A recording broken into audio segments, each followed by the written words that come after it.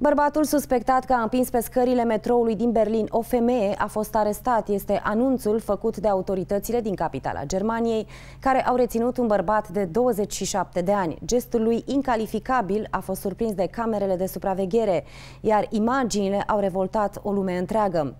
Conform presei germane, suspectul este cetățean bulgar. Atacul a avut loc în luna octombrie, însă înregistrarea a fost făcută publică abia săptămâna trecută.